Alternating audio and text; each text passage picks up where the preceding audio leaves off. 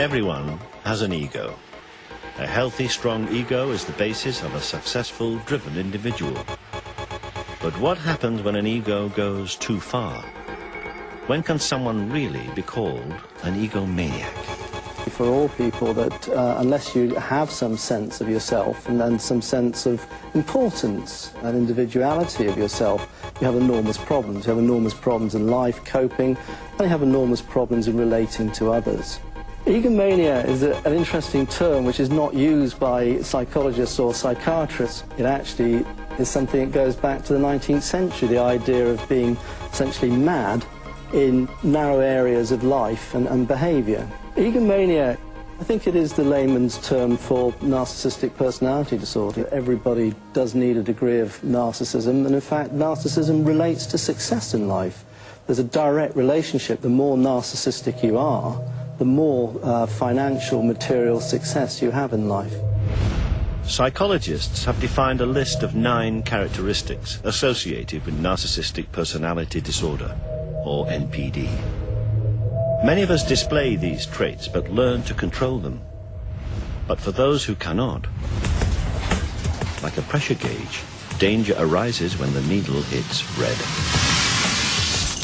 Well, I just don't respect her as a journalist. I have no respect for her. I don't think she's very good. I think she's highly overrated. Uh, you know, she she gets out and she starts asking me all sorts of ridiculous questions, and you know, you could see there was blood coming out of her eyes uh, blood coming out of her wherever. Well, Rosie O'Donnell's disgusting. I mean, both inside and out. You take a look at her; she's a slob.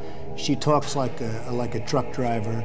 When you look at her and when you see the mind, the mind is, is weak. I don't see it. I don't get it. I never understood. How does she even get on television? Rosie is a very unattractive person, both inside and out. Rosie's a person that's very lucky to have her girlfriend and she better be careful or I'll send one of my friends over to pick up her girlfriend. Why would she stay with Rosie if she had another choice? I think really there's a sophomore quality that is entertaining about Mr. Trump. But I am worried. I'm very concerned about him, having him in charge of the nuclear weapons because I think his response, his, his visceral response to attack people on their appearance, short, tall, fat, ugly, my goodness, that happened in junior high. Are we not way above that? Would we not all be worried to have someone like that in charge of the nuclear arsenal? Mr. Trump. I never attacked him on his look, and believe me, there's plenty of subject matter right there. That I can tell you. Uh, there's this tweet that, that, that uh, Josh Groban put to music where he says, Sorry, losers and haters, but my IQ is one of the highest, and you all know it. Please don't feel so stupid or insecure it's not your fault. Well, and this is what I've said about Trump. For all narcissists, there's a certain grandiosity, there's a certain entitlement, there's a sense of a lack of empathy. But in, with Trump, as in all things with Trump, it's a question of scale. There's, there's the largeness of Trump, the loudness of Trump, the great braying Trumpness of Trump. But there's a smallness too, a pettiness, a petulance a certain, certain resort to schoolboy taunts. The very fact that he calls his, his opponents stupid, that he uses terms like total loser. These are very And this is all terms. symptomatic of narcissism. It's, it's symptomatic of the brittleness of narcissism mm-hmm. because one thing to keep in mind about narcissism is that it's often what psychologists call the mask model of narcissism. It's a sense of profound grandiosity that's designed to cover up its exact opposite. The narcissist is addicted to a drug called narcissistic supply. Narcissistic supply is a fancy term and it describes all forms of attention, both positive and negative. Narcissists are very utilitarian, very pragmatic, and very flexible, multi-purpose machines. They have what I call X-ray vision. They are able, instantly, to diagnose the weaknesses, vulnerabilities, soft spots, predilections, fears, hopes, and emotional needs of everyone around them. Uh, yet another sign that when economic times are tough, things can get ugly. A new report suggests that right-wing extremism may be on the rise in this country. Department of Homeland Security says these groups might be using the recession and the election of the country's first African American president as tools to recruit new members. They say there's no specific information on planned violence by domestic right wing terrorists, but real estate foreclosures, unemployment, and tight credit could all lead to a fertile recruiting environment. Stop being gilded, domesticated garbage. Stop being weak. And when you see a threat come down on you, deal with it. Become a human again. Stop being weak. We got a bunch of criminals coming down on us. God. Ugh. Murdering scum. I want to get humanity awake. I want to get our forces up. And I want to bring these people to justice, and you know what I mean. You know what I mean. I want to unleash humanity, not have a bunch of con artists, pot-bellied, chicken neck, pieces of garbage running our world. More importantly, they act like effeminate, cowardly chicken necks because they want to train you to act like that. They want to train you to be weak. Last year, the Southern Poverty Law Center counted 1,360 of these groups, an all time high. Only 149 existed when Barack Obama won the presidency in 2008. A careful observer can use a respect scale to find how many citizens get an even break. As a community moves towards despotism, respect is restricted to fewer people. A community is low on a respect scale if common courtesy is withheld from large groups of people on account of their political attitudes. We're not going to change. We're at a Trump rally. We're not going to change Ditch the those. deal. We're going to say, Ditch 'em. You know, when you think of it, all of Do you the disagree with ditches that we all want. Yeah, I said bitches. Very simple.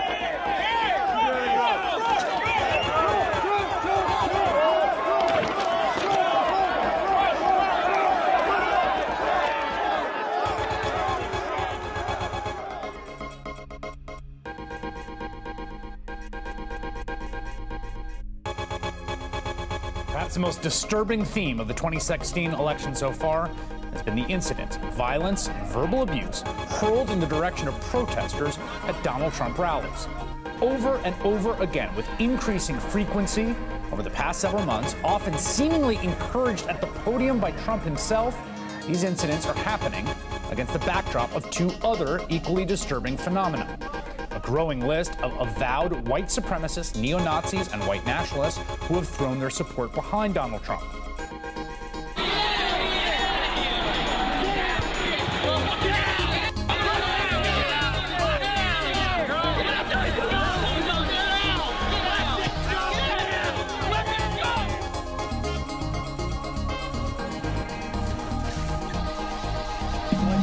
You bet I liked it. Yeah? What'd you like about it? We don't know who he is, but we know he's not acting like an American. So you deserved it? Every bit of it. What was that? Yes, he deserved it.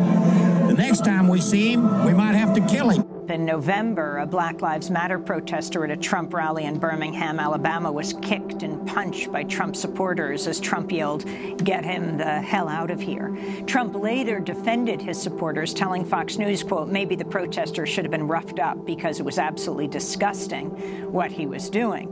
Um, I want to turn to George Wallace's daughter, Peggy Wallace Kennedy, who told BuzzFeed she compared her father to Donald Trump, saying, quote, there are a great deal of similarities as it relates to their style and political strategies, the two of them. They have adopted the notion that fear and hate are the two greatest motivators of voters. She went on to say, quote, they both can draw a crowd and work up a crowd. My father was a very fiery and emotional speaker and was able to tap into the fears of the poor and working class white people. But Peggy Wallace Kennedy said her father may have actually been less extreme than Trump. Well, Donald Trump, let me say this. My audience, I'd say 90% supports you. Okay. And you definitely uh, have, have shown your knowledge of geopolitical systems. We problem in this country, it's called Muslims. We know our current president is one. Right. You know he's not even an American. We need this Birth question. certificates, This is the first man. question. But anyway, We have training camps growing where they want to kill us. Mm-hmm. That's my question. When can we get rid of We're going to be looking at a lot of different things. And, you know, a lot of people are saying that, and a lot of people are saying that bad things are happening out there. We're going to be looking at that and plenty of other things. A lot of people say, no, he's just doing it to get votes. He's doing it to get votes. I want to read you guys this. It's from the very first article the New York Times wrote about Hitler. This is from November 21st, 1922. They said, uh, several sources confirmed the idea that Hitler's anti-Semitism was not genuine or violent. It was merely using anti-Semitic propaganda as a bait to catch masses of followers and keep them aroused, enthusiastic, and in line. You must feed the masses with cruder morsels and ideas like anti-Semitism. The Nazi vote had dropped to 33% in the November 1932 election. It looked like their support had peaked. But powerful figures on the traditional right still felt they had to negotiate with Hitler. They too wanted to eliminate democracy and destroy the communists. And without Hitler and the Nazis, they had no access to mass support. A former chancellor, the aristocratic von Papen, came up with a deal. Hitler could be chancellor if he, von Papen, was vice-chancellor, and there were only two other Nazis in the cabinet, surrounded by more traditional conservatives. The theory was, Hitler would be tamed.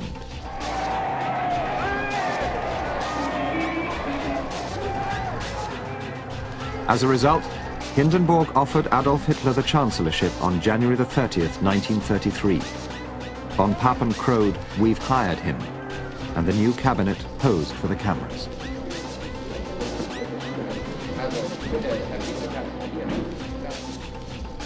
The Nazis would later try and rewrite history to say that Hitler became chancellor simply because it was his destiny. But in reality, Hitler had been helped into power by economic circumstance and the support and miscalculation of others. I'll support the Republican nominee. Senator Cruz, yes or no, you will support Donald Trump if he's the nominee? Yes, because I gave my word that I would. Governor Kasich, yes or no, would you support Donald Trump as the Republican nominee? Yeah, I, but and I kind of think that before it's all said and done, I'll be the nominee. I think Islam hates us. There's something, there's something there that there's a tremendous hatred there. There's a tremendous hatred. We have to get to the bottom of it. There is an unbelievable hatred of us.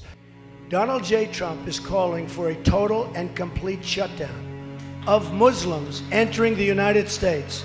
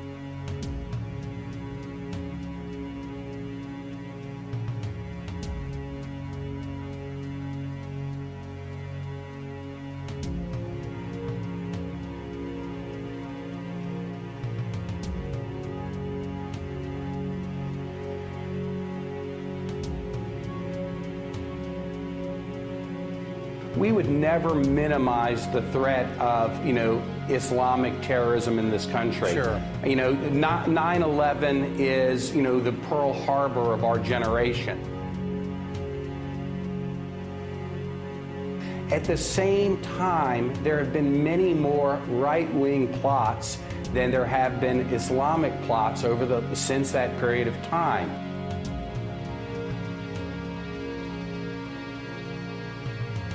You, you look at what's going on, you have a president that doesn't even want to talk about, you know, the radical uh, Muslim stuff. He doesn't want to mention the word. Well, they want to blow up our cities and they want to blow up our country. That's our number one problem. The U.S. has become a dumping ground for everybody else's problems. Thank you. It's true.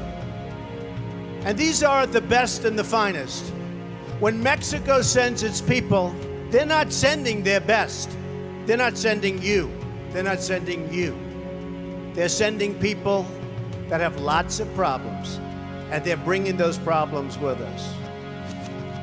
They're bringing drugs, they're bringing crime, they're rapists, and some, I assume, are good people.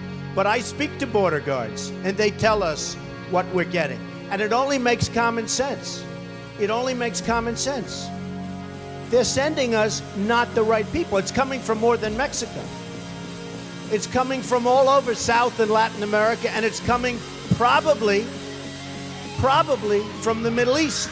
Going to have a deportation force. Now he is praising a program whose official name considers what's currently considered an offensive slur Operation Wetback. It was inhumane, um, it was abusive to uh, Mexicans that had come into the United States at our request to work during World War II. Humanitarian complaints were raised as some deportees were sent back to Mexico aboard what a congressional investigation described as a slave ship.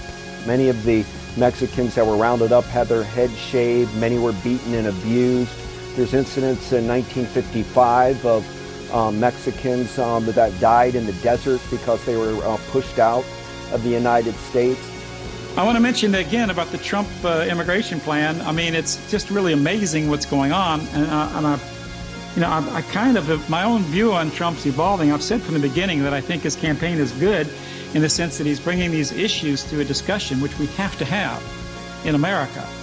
And he's continuing to move the envelope further, and I think he understands the real sentiment of America. Like I say, I don't know whether it's intentional or sincere or whether it's simply a means, because this is his only path to the possible nomination of the Republican Party and his only path possibly to the presidency. So although we can't trust him to do what he says, you know, the other the other Republican candidates won't even say what he says. So he's certainly the best of the lot. White people in this nation and the world have got to unite. We're going to stand proudly and honestly and courageously, and we're not going to stop until we win. Should there be a database system that tracks the Muslims here in this country? There should be a lot of systems beyond database. I mean, we should have a lot of systems. And today you can do it. That interview and that story have had a, a big impact today, as you can see from all the headlines about it. Um, also, from responses like this one from one American Jewish group, which said in response to this Yahoo News article, quote, registering everyone of a certain religion to a list? We've seen that. It doesn't end well. The reason why European Americans are supporting Trump in very great numbers is the same reason they supported me. You've got to go back to Louisiana. In 1990, I ran for the United States Senate against a long, quote, conservative Democrat.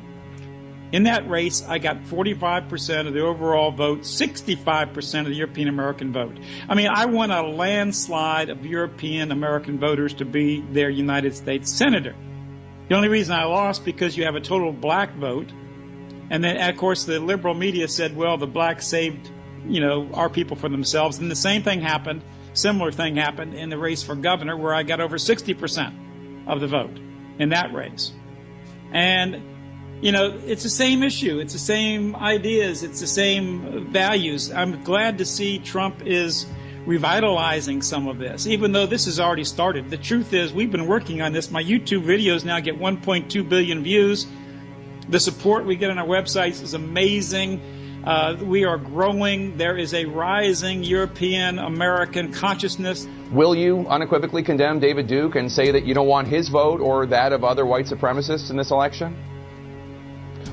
Well, just so you understand, I don't know anything about David Duke, okay? I don't know anything about what you're even talking about with uh, white supremacy or white supremacists. So I don't know. I mean, I don't know, did, did he endorse me or what's going on? Because, you know, I know nothing about David Duke. I know nothing about white supremacists. And so you're asking me a question that I'm supposed to be talking about people that I know nothing about.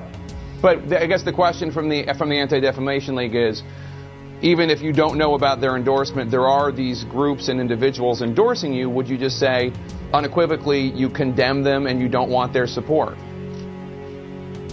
Well, I have to look at the group. I mean, I don't know what group you're talking about. The degree to which white nationalists, white supremacists, and the white power movement have latched onto Donald Trump's campaign, it's starting to become an unignorable problem for his campaign.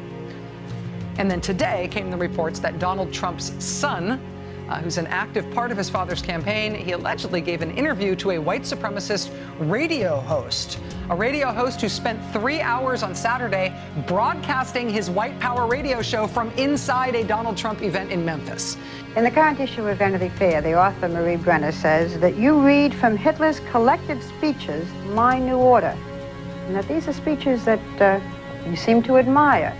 What's your reaction? Do you have this book? Do you have these speeches? It is the most ridiculous thing I've ever heard.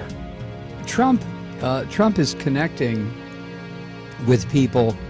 Uh, he's connecting to their dark side. He's connecting to um, all their fears, uh, the same way Adolf Hitler did. Uh, in Hitler's day, it was the foreigner, the immigrant, the Jew, uh, the liberal, the communist, the, the, the other among us. Hitler united the German people, uh, whether they knew it or not at the time, on that, on that basis, on the basis of we, we have enemies within the country who are eating us alive, who are destroying us, who are, who are killing us. We have to stop them.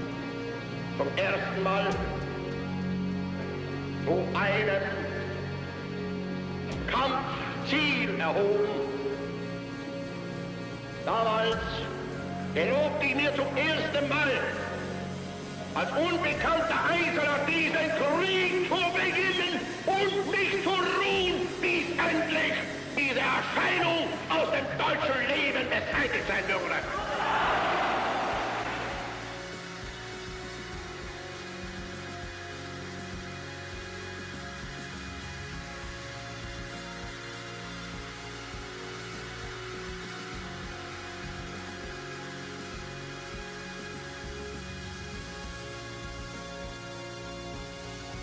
Sodass natürlich in Deutschland allmählich der Eindruck entstand, ja, Bolschewismus und Judentum ist dasselbe, so ungefähr.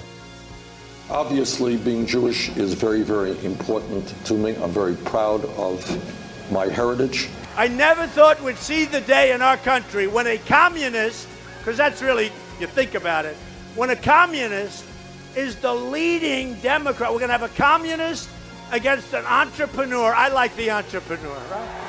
This socialist slash communist, okay? Nobody wants to say it. And nobody's heard the term communist. But you know what? I call him a socialist slash communist, okay? Because that's what he is.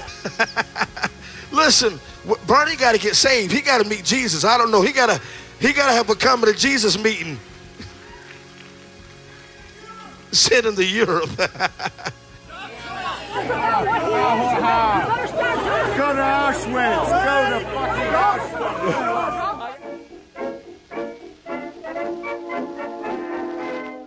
To the Freikorps, who celebrated in Munich after the suppression of the Räterepublik, the Jews were convenient scapegoats, held to blame for all the country's ills.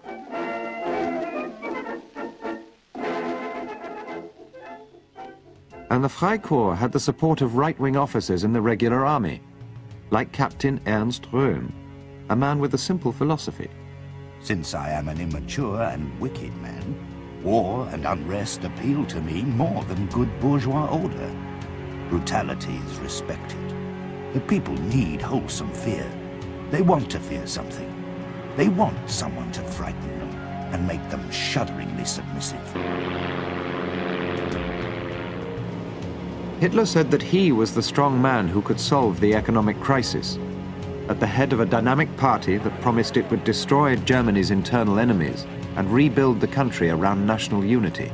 We're fighting a very politically correct war. Yeah. Well, we see and that the happening other thing is with the terrorists, you have to take out their families. When you get these terrorists, you have to take out their families. Why, did somebody tell ISIS, look, we're going to treat your guys well. Would you please do us a favor and treat our guys well? They don't do that.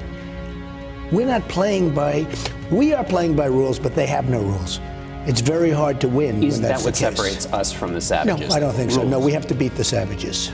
And therefore throw all rules out. We have to beat the savages. By being savages. No, we, well, look, you have to play the game the way they're playing the game. I'd like you to answer the question how do you feel about waterboarding? I said, I feel great about it. I really, I feel great. I said, I feel great. And then I said something that got me in a minor bit of trouble because it wasn't politically correct.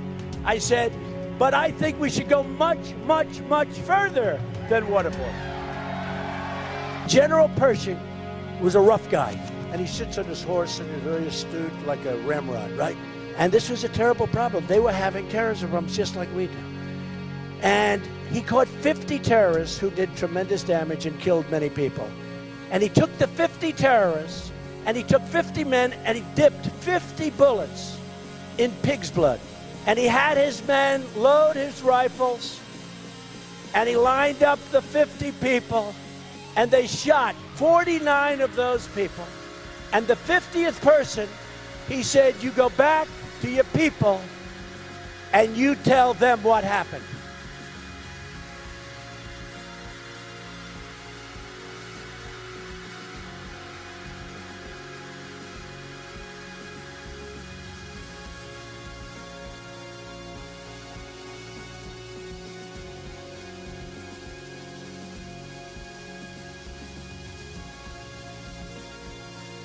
I would bomb the shit out of them. I would just bomb those suckers. And that's right. I'd blow up the pipes. I'd blow up the ref- I'd blow up every single inch. There would be nothing left. When the unemployed Dr. Joseph Goebbels found his cult figure, he felt called by God. This man was his Messiah.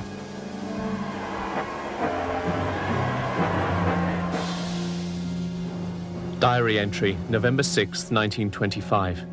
And those big blue eyes like stars. He is pleased to see me. I am filled with happiness. He is there. He shakes my hand. Then he talks for half an hour with wit, irony, humor, sarcasm, earnestness, fire, passion. This man has all the qualities of a king, the born champion of the people, the future dictator.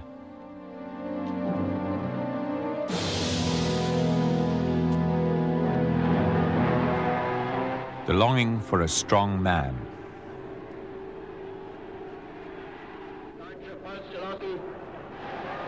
The yearning for strong words.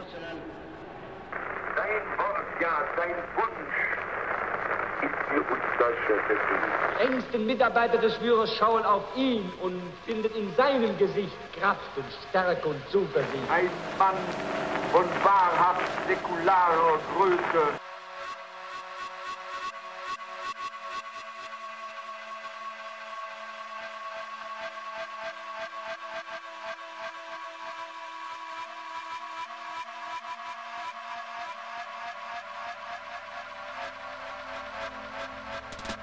The historians and the political scientists and the journalists who treat the subject of fascism usually write from a centrist ideological perspective, from the political center of the spectrum, which means they usually ignore the link between fascism and capitalism, just as they tend to ignore the entire subject of capitalism itself when there's something unfavorable to say about it.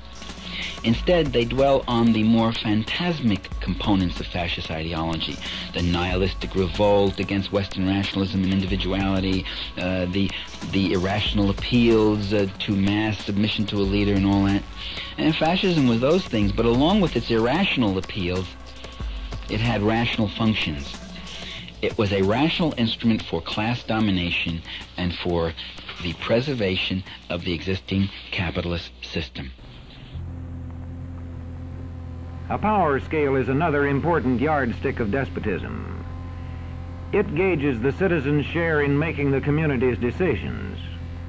Communities which concentrate decision making in a few hands rate low on a power scale and are moving towards despotism.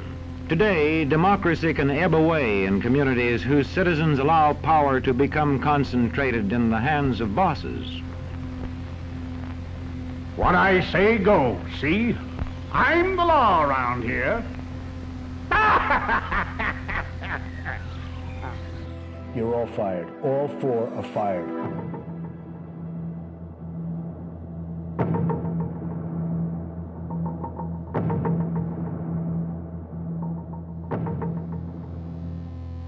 The test of despotic power is that it can disregard the will of the people. It rules without the consent of the governed.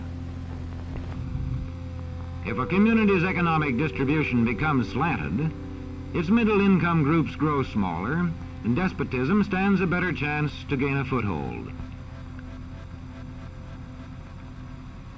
Speaking of dictionary, uh, defined fascism as, quote, a system of government that exercises a dictatorship of the extreme right, typically through the merging of state and business leaderships, together with belligerent nationalism. Uh, there is a trending retweet of yours. You retweeted somebody from Il Duce 2016. It was a Mussolini quote. It said, It is better to live one day as a lion than 100 years as a sheep. That's a famous Mussolini quote. You retweeted it. You like the quote? Did you know it was Sure. Mussolini? It's okay to know it's Mussolini. Uh, Look, Mussolini was Mussolini. It's okay to. it's a very good quote. It's a very interesting quote, and I know it. I saw it. I saw what, and I know who said it. Uh, but what difference does it make? Hey everybody, Fascist Lemming here. I feel, uh, as of this moment, I think that it is in the interest of the white race to support Donald Trump. Hey everybody, Fascist Living here with some awesome news. Check this out. Uh, Donald Trump uh, tweets white genocide. He re- okay, so he retweeted uh, at white genocide uh, TM, and it's a picture of a Jeb Bush uh, homeless saying vote Trump. So he retweeted a graphic that had some crime statistics. Now, let me tell you what it said. USA crime statistics for 2015 blacks killed by whites, 2%. Blacks killed by police, 1%. Whites killed by police, 3%. Whites killed by whites, 16%. Whites killed by blacks, 81%. Blacks killed by blacks, 97%. Uh, those numbers, needless to say, are totally made up. In fact, they're so made up that the source, the Crime Statistics Bureau in San Francisco, uh, that isn't even real. I'm Jared Taylor with American Renaissance. I urge you to vote for Donald Trump because he is the one candidate who points out that we should accept immigrants who are good for America. We don't need Muslims. We need smart, well-educated white people who will assimilate to our culture. Vote Trump. This follows a report from a Muslim woman who was ejected from a Trump rally in South Carolina on Friday with other protesters. The woman, Rose Hamid, was wearing a hijab. She told CNN she experienced a, quote, hateful crowd mentality as she was being escorted out, including from one man who questioned whether she had a bomb. She had a T-shirt that said, I come in peace. And over the weekend, a CBS News reporter named Sopan Deb tweeted that a Trump supporter had asked if he was taking pictures for ISIS and then began filming him. It wasn't the first time this has happened. At a Trump rally last month, Deb said a man came up to him and said, Go back to Iraq. Deb says he has never even been.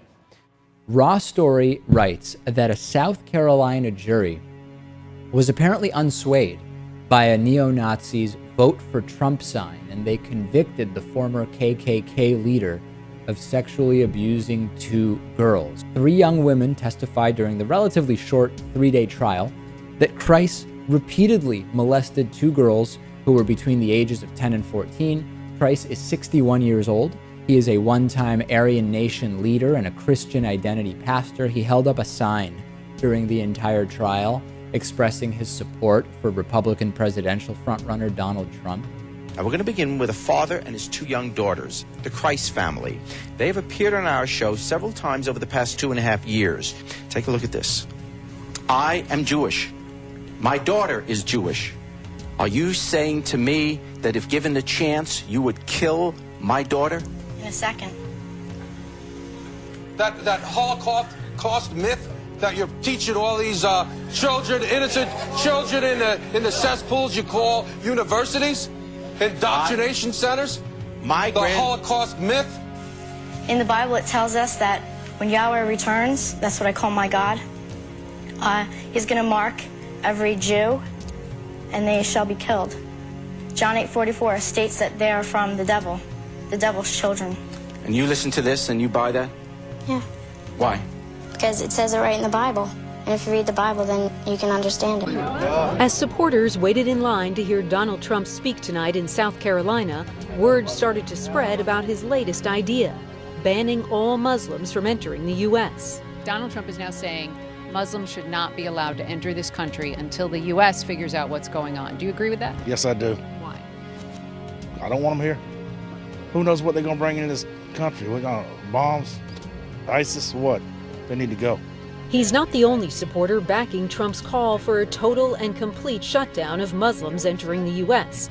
In fact, no one here we spoke with had a problem with the plan. That's a very prudent idea, and I think that he's done due diligence when he makes that statement. We have to protect our American citizens first, and the vetting process and the whole program lacks integrity. That's not true. In fact, the vetting process run through multiple agencies is vigorous. Trump's harsh words for ISIS have also energized his supporters. On Fox recently, Mr. Trump shared part of his plan for how he'd bring down ISIS, including targeting terrorist families. You have to wipe out their homes where they came from. You have to absolutely wipe them out. It's the only way you're going to stop terrorism. Are you in favor of uh, bombing terrorist homes? Absolutely. Absolutely. People will continue to reproduce and they will raise children in their beliefs. Somebody just needs to go in there and take control of this. I just think it's it's going rampant and I'm worried about America. Worried about our safety. They're getting in. They need to be stopped.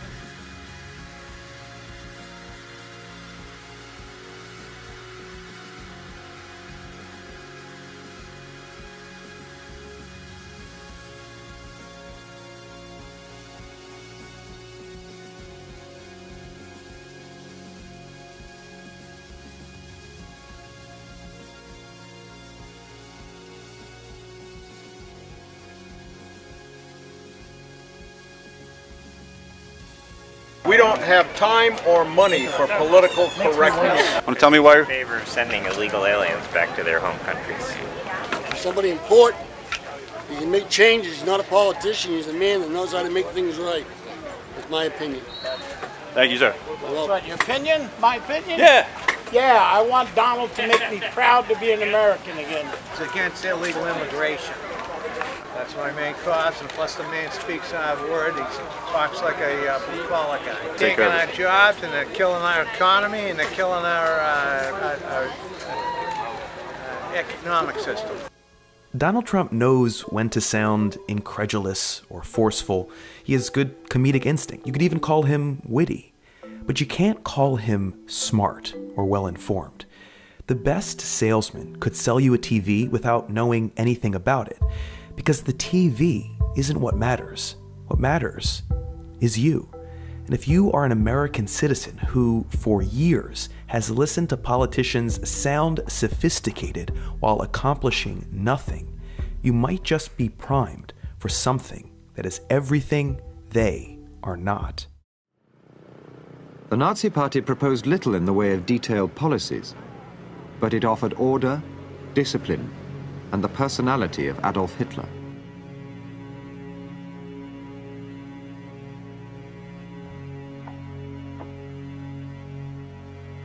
I wish to testify about the Feldenstein case because it was the most significant trial of the period. It is important not only for the tribunal to understand it, but for the whole German people. But in order to understand it, one must understand the period in which it happened. There was a fever over the land, a fever of disgrace, of indignity, of hunger. We had a democracy, yes, but it was torn by elements within. Above all, there was fear. Fear of today, fear of tomorrow, fear of our neighbors, and fear of ourselves.